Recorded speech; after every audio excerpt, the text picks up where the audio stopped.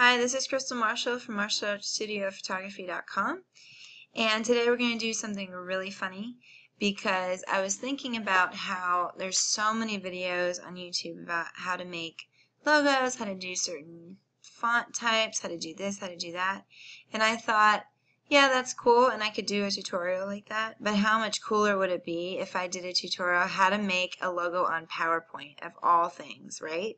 Because the average person, they don't have access to Illustrator. They don't really understand how to do it. It is kind of a complicated program for the average person. So what if um, I gave an average person some tips and tricks how to make your logo on PowerPoint, make it really simple with you know, one to two to three colors, um, depending on how, if white is a color or black is a color, I guess, um, using a simple shape, using one font, and just making different versions of it.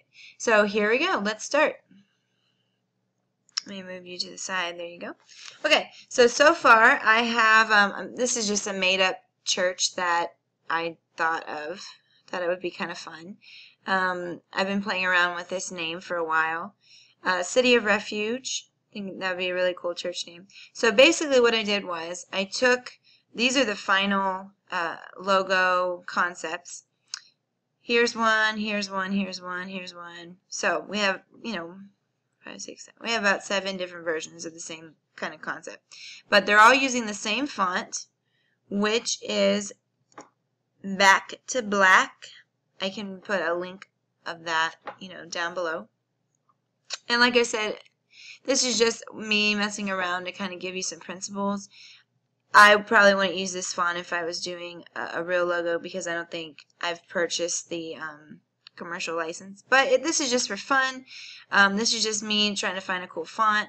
I like it because it's very, uh, it looks kind of handwritten, has kind of a brushed effect, but looks really well with these uh, color schemes. So anyway, um, the only problem with this particular font is the T uh, likes to come over the I, so I had to individually uh, make each letter and stick them together. The of and refuge is all one font because I thought it looked really nice together. Okay, so principle number one, try to use only, um, you know, black is definitely a color, uh, white can be a color, for pretty much any font that you do because that goes with most things. Um, do a muted color like a gray or a neutral color. So for example, city here is a, a gray color. This of is a gray color. Um, and then have one color pop. So you could do, um, let me try to see here. Here you go. Drawing tools. Let's see. Shape fill. So we have um, a bunch of colors that we could do. Um, anything over here would be considered a color pop. These would be muted colors or neutral colors, and of course these are your black and white. So there you go. I really like this color. It's one of my favorite colors, and I think it looks really well with the black and white. Plus, mint is really in right now. So, okay, so let's start from the beginning and just kind of see how I did this. So this is a shape, actually, from this drawing board right here. Insert shape. All I did was find the one. Um, this one is the call out shape. So there you go. That's the shape I used. Um, of course, this font. What I did with the font was I'm just doing control, copy, control, paste to kind of show you. I did uh, this effect so basically, it's just a very, very small uh, shadow, very uh, subtle with that. With this particular one, I did just the black with that subtle effect that I just showed you. This one is, is the same thing. I didn't do any of the effect. And it was just the of is a mint color. So as you can see, let me go back to the, um, the total boards here. Each logo is a very similar look on a theme, but I think it's important to have different kinds of looks because, for example, this might this one might look really good on a shirt um, this one might look good, really good in the bulletin perhaps, but it might not look really good on a website because it'd be like too much. Where this would be a really nice, beautiful, simple thing to just put on a website. I'm going to move that Y over here. See, this is the thing about PowerPoint. You have to really zoom in. See if I can get pick it up here. Oh, I did the whole thing. I grouped it as a group. And what you can do, how to do that, is like you want to control, um, here, uh, control, control, control. I'm holding control and tapping with my mouse. And then I do control G to group the entire image. So that's kind of what I did. Um, what is it? So I did that. Okay, so back to here. Let me zoom out here. It's funny, I keep using the quick keys from Illustrator, but they don't have them here. So here I did the, the muted tone, the of above, and then I did the refuge in the color pop.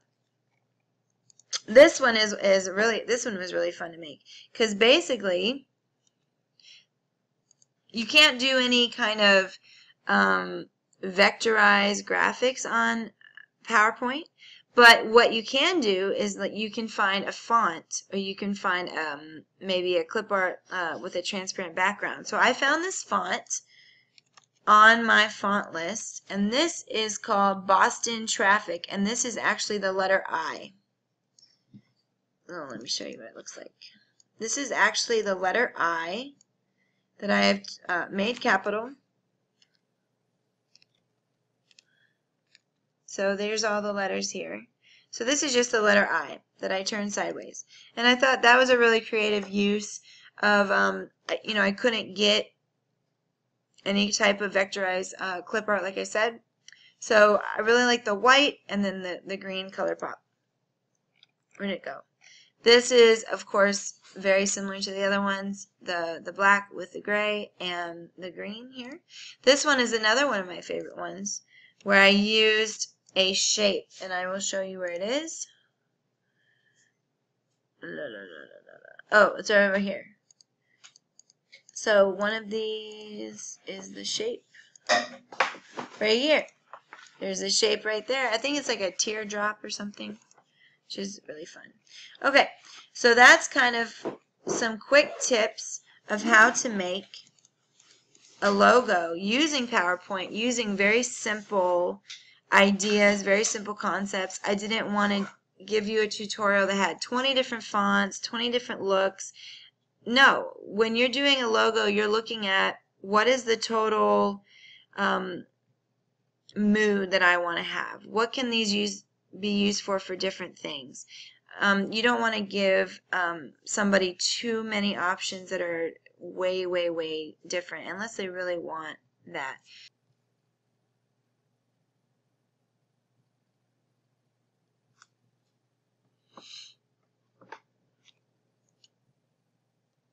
Okay, so I'm back. So after a really, really long break of trying to figure out how to save as a um, PNG file in PowerPoint, I was going like this. I was going File, Save As, finding the thing, and, and trying to save as a PNG file. Don't do that. That doesn't work. Um, after many tutorials and actually having to Google it, I figured it out. Okay, so what you're going to do is um, we're going to just take this very basic logo here. I'm going to make sure I have all of my effects, no shadows or anything, so it's a very um, regular plain image.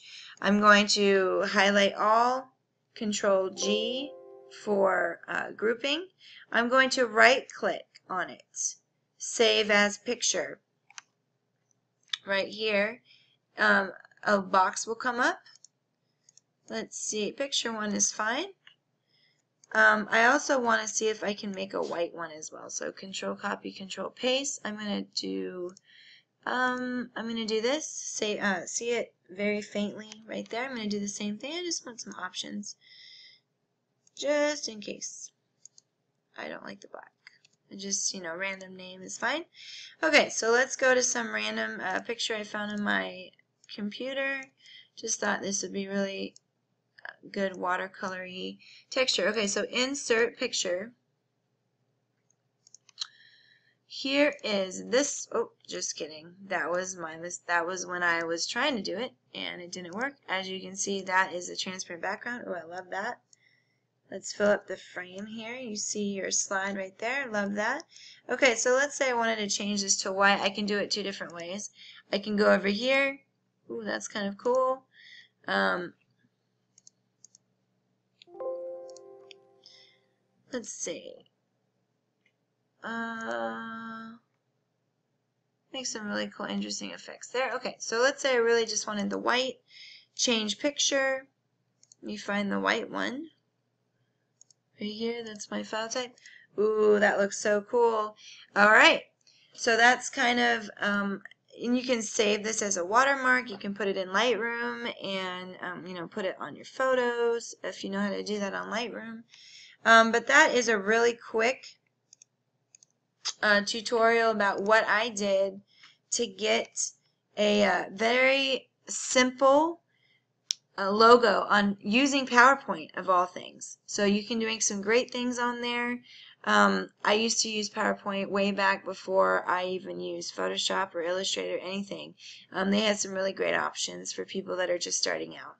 Um, but anyway, this is Christal Marshall from MarshallStudioPhotography.com, and hopefully that was uh, pretty fun looking at some really cool things you can do on PowerPoint to make your logo. So stay tuned and uh, see you soon.